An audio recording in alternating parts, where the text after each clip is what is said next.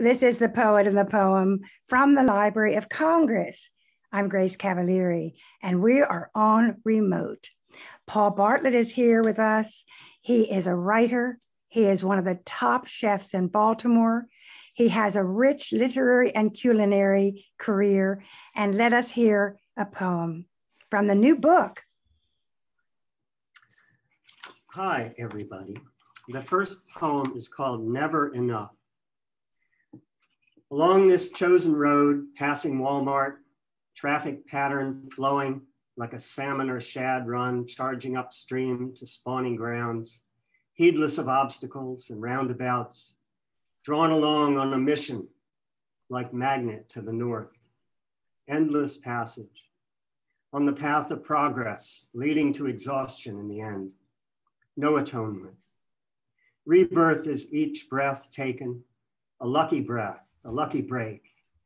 Time is given, the mighty surge of life, the ghost of history, each vital sign, a detail of perfection and destruction. We ride the giant wave, curling toward landfall in a tailspin of certainty. Paul Bartlett lives in Baltimore and farms in West Virginia. His life is about growing food and creating restaurants and serving the hungry of Baltimore. He's the author of six chapbooks and two full length poetry collections, and this new book, Kite. What is the title? Kite Tail Kite Streamers. Tail Streamers. Kite Tail Streamers. We'll find out about the inspiration for that. But Paul is um, someone, a poet I've watched I've watched his poetry from when he was a very young man, maybe 45 years ago. And I have been very interested in seeing that his voice is like his content. He is a person who, who goes through the streets of Baltimore, through the country roads of America, seeing, observing, reporting out what he sees. He's a traveler He's always on the road again. Is that a good way to describe your work? Yeah. Yep. That you uh, go along and observe and report out to the world what you see. And you're known for remarking about the changes in Baltimore. Say a little bit about that. Well, as a former student at Antioch College, um, I've always focused on soci- sociological aspects of social interactions. Which is what Antioch was all about. And in my poetry, I focus on um, the mystery between the parts and the whole of things, you know, um, kind of, and I go back to early influences of, in that era of the here and now philosophy of Allen Ginsberg and Alan Watts and those sort of people. Um, but also in, in my poetic um, mentorship. I've always enjoyed the work of people like Charles Reznikoff and Louis Zukofsky and uh, William Carlos Williams and uh, Walt Whitman. They're, they're very, they're tellers of stories hmm. objectively mm. of what goes on in front of them. And then um, from that, there's kind of, you can draw your own conclusions about um, what we know and how we get there. So well said, because you are always dealing with the concrete and the basic, but it's always symbolizing something more. It's about change, it's about the past, it's about what is remembered, but you always start with the thing itself the road sign, the, the rusty fence, the brook by the side of the road. So you start with a definite, tangible thing and that becomes a symbol of passage i think. You're all about passage. Do you agree? That's really interesting. Yeah. Uh, i'm you. here to tell you what you're about. No i think it's great. It is so true. Let's hear another poem. Okay um, the second one is called waterman. Um, I don't need to introduce it. I will read it, and then if you want to talk about it, I'll tell you some stuff. Waterman. John Walt, John Walton. It's an it's a um, a eulogy, I suppose. Is that the correct word? It's um it's a story about a person. John Walton told a tale from the bridge, looking out on the water, traveling the world, weather and wake of time passing. I'd call at four in the morning for hard crabs and learn a story of flagged tankers plying the waters of Lake Maracaibo or the history of Adrian Hanson's dog. There was never a time I didn't hear Mary cheerfully holding her part, worrying about John's optimism in the face of worsening weather. Over the years, the calls got fewer. I'd have to pull over to the side of the road and just talk for a while. The matter of fact telling of circumstance, more dire each call. Then oyster and crab deliveries began trickling in from Joe Rafferty or Captain Seaweed. And instead of stories from John, we'd hear stories of John. Mm-hmm. Now, sad faces of loss call each other just to say, Hey, did you hear the story? yes, that is, uh, I, I like that very much because it is a portrait of a person that we get to know. So you have created someone who never existed before and who will now never die, which is what Yay. I love about poetry. Poetry preserves the beloved. And that is one thing that poem does. But the most interesting thing to me was you waiting at the docks for the oysters and the crabs. Would you talk about the life of a chef? We think you start in the kitchen, but you start at the docks waiting for the crabs to come in. Talk about that.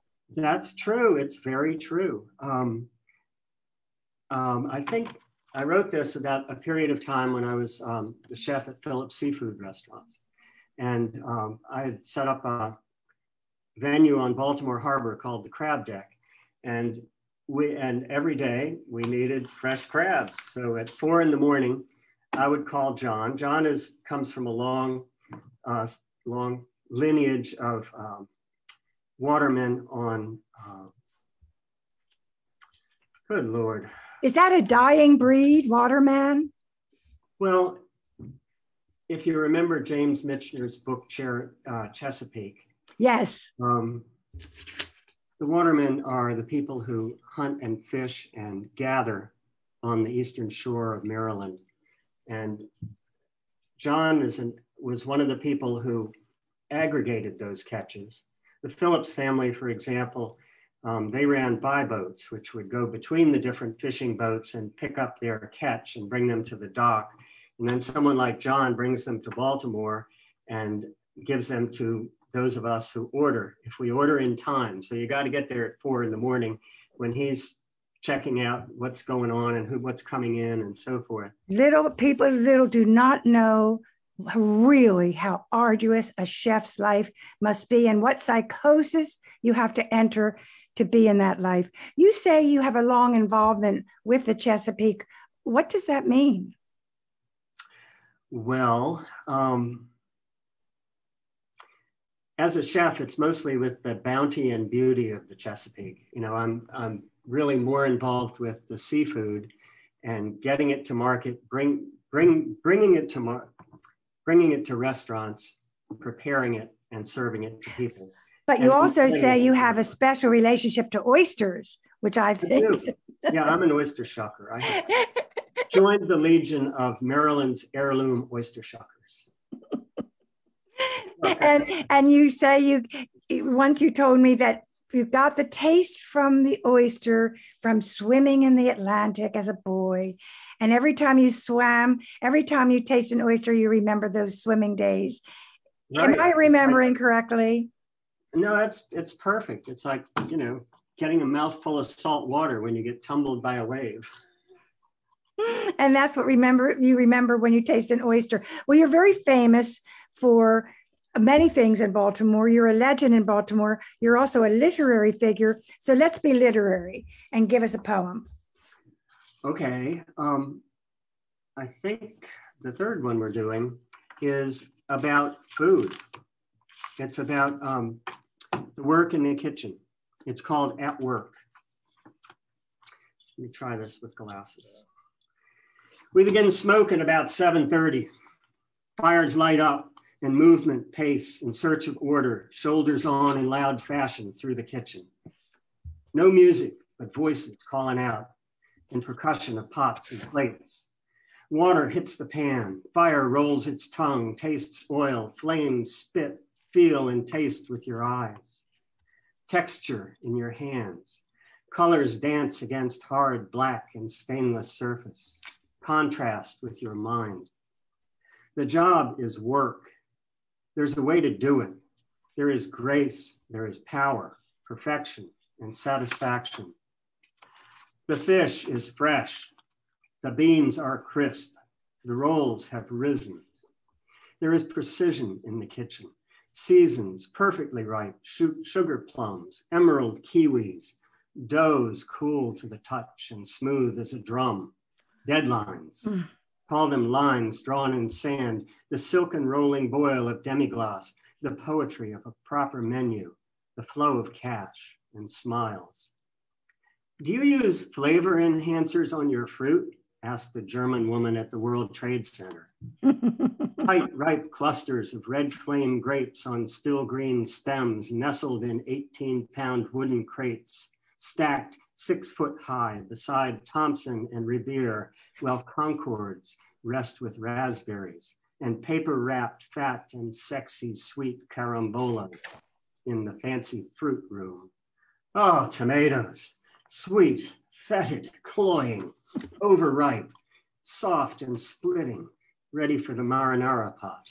Descriptions, just descriptions pages filled with stiff and shining golden-eyed rock bass and cool blue-black periwinkles and perfectly golden yellow sacks of sea urchin roe glistening in shiny spherical shell. My hands tumble the ocean in a box of mussels, the heady pungence of crabs, fresh from their sauna of vinegar and beer. I ask the lobster before me, where do you come from, crustacean? Gills, breathing in air like a mammal, delicate cilia rhythm, 10 arms, two claws, and a powerful tail.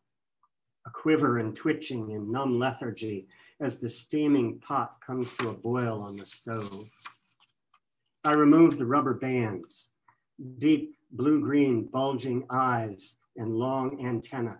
Every limb moves in anticipation roasted bones with garlic, sauteed onions and fresh thyme, a full nose of cracked pepper and deglace of burgundy, the romance of bouquet, a fine stock, a silken sauce, the sensual zone, alluring, push and pull of production.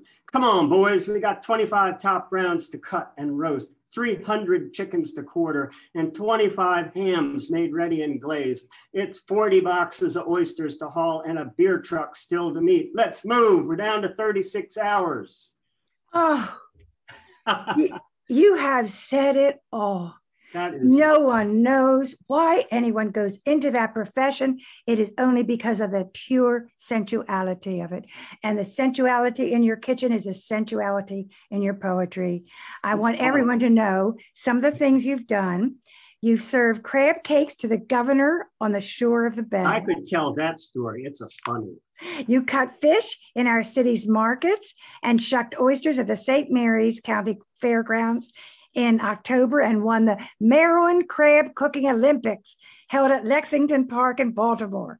And in many years, you've represented Maryland in Hollywood and San Francisco in behalf of the mayor and the governor. You are our top chef. Oh, come on. That was years ago. it is just I I like to talk a little bit, extend a metaphor for about the ingredients in food and the ingredients in poetry. How do you gather your ingredients in poetry? Do you carry a little notebook in your apron all day? And as you go on your motorcycle, yes. scribble? Is that what you do? Sure. Okay, talk about the way you see. Aha, uh-huh, proof. There's visual aids. Tell the way you see the world, the colors, the tastes, the smells, you see the world as you see the kitchen. Talk about your approach to life. Mm. Your senses are everything to you. Yeah, they really are. They're very important. And your skills. I saw you cut a, a, a lamb. It was dead, fortunately. But I saw you cook, uh, cut a cooked lamb, and the skill with a knife is something we also have to talk about. Can a chef be a chef if they don't have dexterity? No, the, the whole fire and knives things is really important. I think that's why a lot of the kids who wanted to be um, lead guitar players in the 60s and 70s became chefs in the 80s and 90s. Oh, how interesting. Because you got you have waitresses, you have fire, you have knives, you have all this stuff that happens in compressed time frames. And then at the end of it, it's like, hey, it's done. I don't have to worry about this till tomorrow. But what are the the abuses that happen as a sous chef and you're chopping onions and you're screaming yes chef yes chef. The what do you really have to go through? the rings refrigerator. The rings of fire paul. The rings of fire that you have to go through to become a, a really the leader in the kitchen. Could you did you ever say why am i taking this abuse? Yeah every time i was cleaning out a refrigerator at one in the morning Paul, I want a memoir from you in the worst way. Let's have another poem. Okay. Um, I, I think the title of it is Cleaning Out a Refrigerator at One in the Morning. That's your memoir. That's an interesting title. You know, uh, Anthony Bourdain is an interesting guy too. He wrote about all this stuff. He did. And don't, why do you think Wonderful. he was so dogged, dogged by pain? Well, drugs are one thing. I guess that's a demon he couldn't shake, right? Demon. Some, yeah, a lot of people have trouble. You know, I've had more. Um, I've had more band members in my kitchen, people who couldn't make a living as playing and playing music. I mean, I, in the beginning, I wanted to write poetry, and I absolutely knew I couldn't make a living at it. And that was one of the reasons that I really focused on the kitchen because I could travel and find a meal in every town and I could get hired in every town. It, it's, you know. That's interesting. But you did train, and there is something called craft in cooking and craft in poetry. Oh, yeah. Well, the problem, you're not going to go anywhere unless you get your craft together. How many years in the making of study do you think that took? And uh, apprenticing yourself? Well, the the knowledge in the profession is it takes about nine years to develop the skill to be a competent chef in a busy operation. And that period of time, you have to learn so many different disciplines. You start with food, but then you have to be able to manage people. You have to be able to organize things. Then you have to be able to do that in a cost effective manner that allows the restaurant or the food service operation to survive.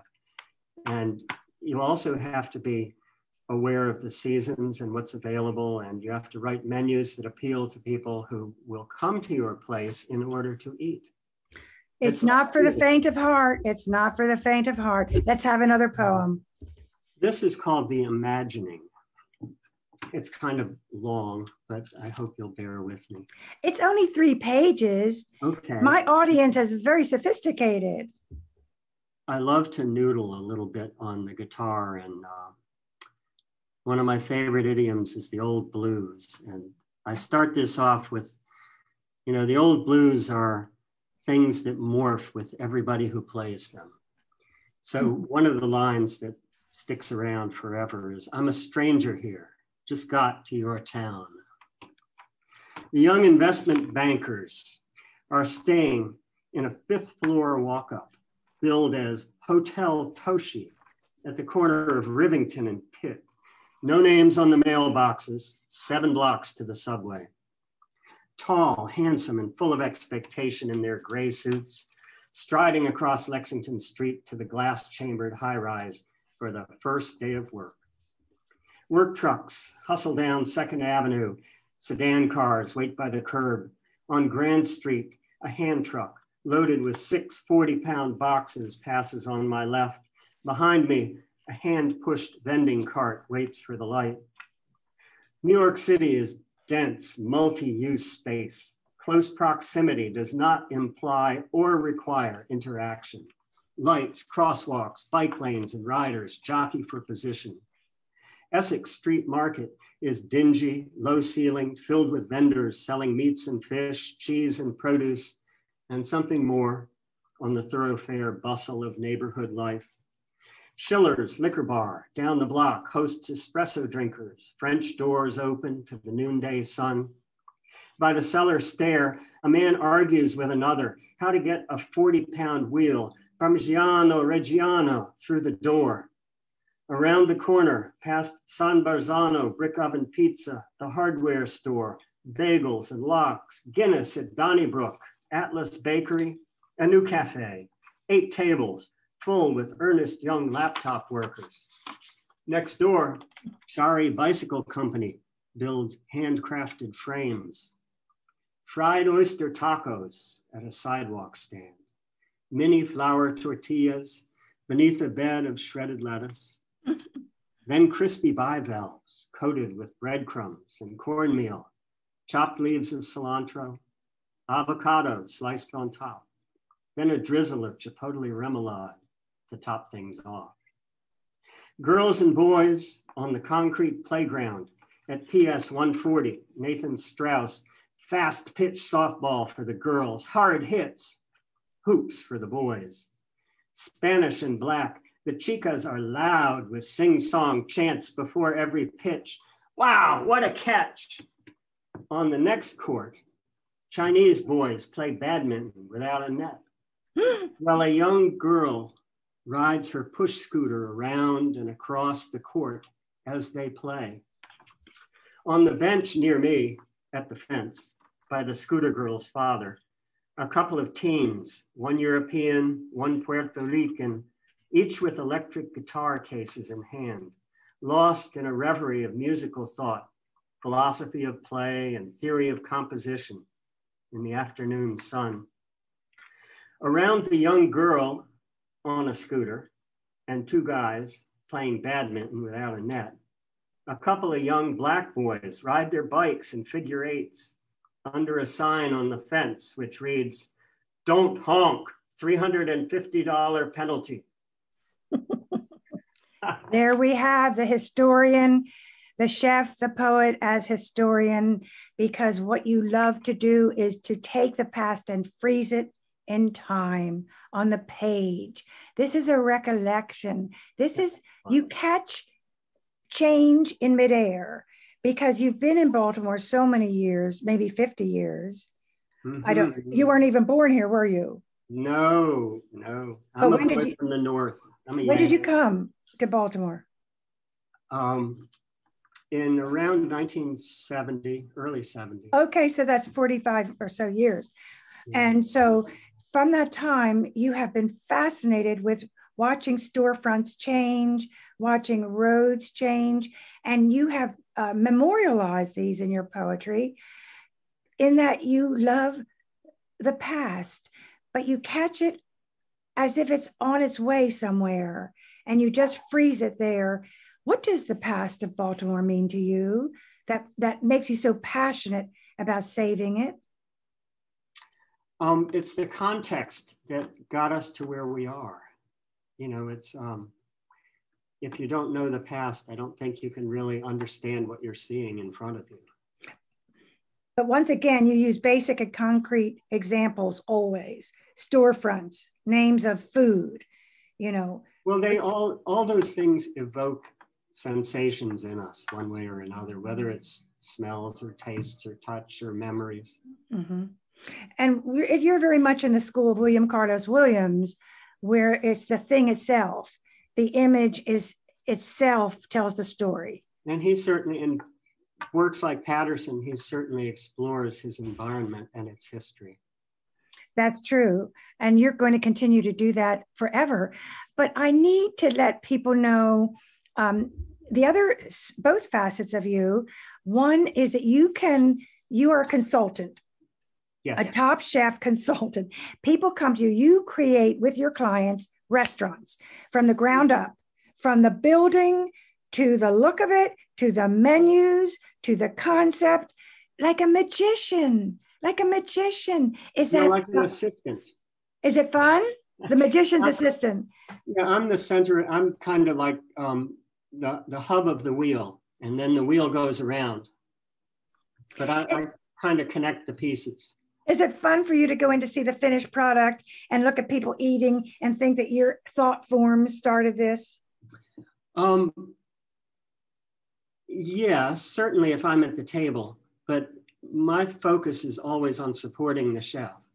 I mean, I'm a back of the house person, and when I operate in a restaurant, I'm operating from the chef's perspective. I'm the chef's other person. As a consultant. Yeah. I, yeah. I, that, I don't do bars. I, you know, I don't do dining rooms. Not I, those are auxiliary to me. I have designers who do that, and bar people and wine specialists. I'm the kitchen.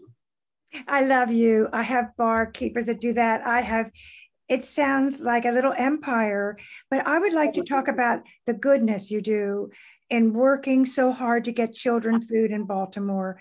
And what is that program? Well, it's called Good Harvest. It's a, a, a program of St. Vincent de Paul of Baltimore. It used to be called Kids Table. We've rebranded recently. And we feed, um, in pre-COVID times, you know, we feed the after-school programs, the um, city rec centers, uh, Head Start programs, um, all the shelters, and we've done this all through COVID as well. But everything has moved from congregate feeding, where we have groups sitting down together to eat, to individual bags and boxes that go mm. to people, you know, who line up for two and a half miles in high school parking lots and a box with six meals in it. Um, I do. I've been working with Kids Table with Good Harvest for um, I think seven or eight years now.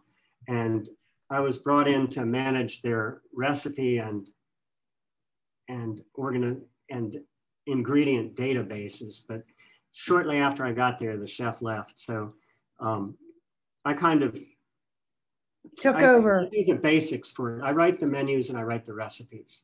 Well, I, where do you get the where do you order the food and where do you cook the food? Well, we have we have a facility just over the city line in Rosedale, which is um, located right where the old Hollander Ridge um, um, tenement housing was, and you know the Great Society housing of the '60s in Rosedale. There's uh, another poem. Another poem. That's the Rosedale. next one I'm going to read, right? Yeah. I mean, well, that, that's about this place. Oh, marvelous. Okay. And we I want to hear it we run eight trucks twice a day and we feed, uh, pre-COVID, we were doing almost 50,000 meals a week. Now we're at around 30,000. May I say, no matter what your religion, may God bless you. I really mean that with all my heart. May God bless you. All those children, all those children you have fed. If you counted heads, would it be 100,000 maybe? Pardon me? If you counted heads, it could oh no, be- it's those are it's a finite number of people. It's just they're eating every day, breakfast, lunch, dinner, snack. So, who know, gets to qualify for these foods? Um, there are often people who are involved in social service programs. You know, like people who are in um, the adults are in, are in shelters. Um, the kids are, you know, like the Sarah's Hope houses and things like that, where family shelters. Um, with something like Parkville High School or Loch Raven High School, you know, it's it's um, called um, the Summer Foods Service Feeding. Okay. And this is part Let's, of the CARES Act. let us shift from the great mercy of your life to the great mercy of the page and hear a poem. Okay, I think the next one we're doing is called A New Song Where the Roads Meet. And this is actually about the geography and so forth of where I'm sitting here at, at Kids Table. I don't know if that's important. A new song where the roads meet. Once, before the land cut, even before the poor tenant housing on Hollander Ridge, Back Creek flowed toward the waters of Chesapeake Bay. Generations passed. Now every bluff is served by 18 wheel trucks. Light industry covers land between off ramps and old carriage roads of mid Atlantic coastal cities. Now, chain link fences lead overpass concrete to abutments where the sidewalk ends, and billboards stake ground to proclaim evidence of God found in the face of a newborn child. No doubt this is true. On one side of the street, the House of Praise has redeemed an old shopping center, complete with worship center, school, congregational gathering space, and parking for hundreds of souls. Recently, a security patrol has been added. How we knew what was there and then, knowledge gleaned from pathways beaten down with passing years, markers of common heritage, diluted by the whoosh of wild, free running change. So dry, it sounds like paper in dry wind, thoughts not anchored to purpose, lost to fleeting circumstance. Longing to settle the hunger for completion, sharing what time there is to share, the arc of passage in every eye unique. Thoughts not anchored to purpose, thoughts not anchored to purpose. Um, I want you to, to say the list of people who taught you different foods. Well, this is part of the long Your gold standard. This is like a pro- bio. But this, I was trained in French kitchens, so um, the references. And you know, interestingly enough, James Beard once said that Baltimore was one of the five great restaurant, great food cities in the United States, and of course that's true. They are, you know, New York, Baltimore, New Orleans, San Francisco, and Chicago. Um, Baltimore is on that list because of the Chesapeake Bay. It's because of 300 years of uh, immigration of people from Europe and all of their patterns, the Poles and the French and the Germans and everything. And, um, and we've got America in miniature with all the cattle and lamb and cheeses and everything from Western Maryland and all the Eastern Shore truck farms with their melons and Silver Queen corn and all that stuff. Maryland is great. As the years passed, my heroes multiplied. I was taught the gold standard for crab cakes by Nancy Devine at Faidley's of Lexington Market and learned bouillabaisse from Maurice Martique on Mulberry Street. I learned coquille Saint-Jacques from Fernand Tersiguel at Papillon in Ellicott City and lobster thermidor from Danny Dickman on Biddle Street. Oysters Rockefeller and crab imperial I picked up at the old Eager House. And how to stab an oyster from Vernon Johnson and George Hastings at some VFW or volunteer fire hall on a Great Bay River. oh my. Do these people know they're being on the Hall of Fame? No. this is great. Well, we have not paid enough attention to you as a literary figure for the past 40 years. And I just want to have a few remarks about what you've done with the Maryland Writers Council and your Red Door Hall poetry and performance venue and the, the literary newsletter that you put out, Hard Crabs. You were at the hub of the literary world and continue to do. Just give us a moment about that life. That was a long time ago. It was um, in the 70s and early 80s. And it was a very lively scene. Uh, we started uh, at 16 West Franklin Street with letterpresses and Eliot Coleman and uh, Bob Waldman and Andre Codrescu and Roger mm. and a bunch of those folks. And we moved to um, Christ Church at the corner of um, St. Paul Street and Chase Street. And they had a marvelous, incredible hall in the back of it, which we named the Red Door Hall. And we put on plays and had poetry readings and so forth. We had Ricky Lights from the Gullah community in South Carolina. We had Lawrence Ferlinghetti from City Lights and we had uh, Ed Sanders read there. We had a lot of really good people read there. And um, it, we could fit 150 people in that hall. It was fantastic. So the Maryland Writers Council, when I was the administrator there, we were in the, in the throes of um, mayor's arts and, um, you know, there was some funding from the city for activities like that. I took advantage of that. But we published a literary newsletter to kind of keep the community together. back then we had to, you know, take camera shots of it, burn it on plates, get Stephen Wiest to run his press for free for us. you know, that's the way literature happens. That is totally the way it happens. Then, like cream, it rises to the top. It was wonderful. We did it eh. for a lot of for a few years. We were actually archived at the University of Buffalo.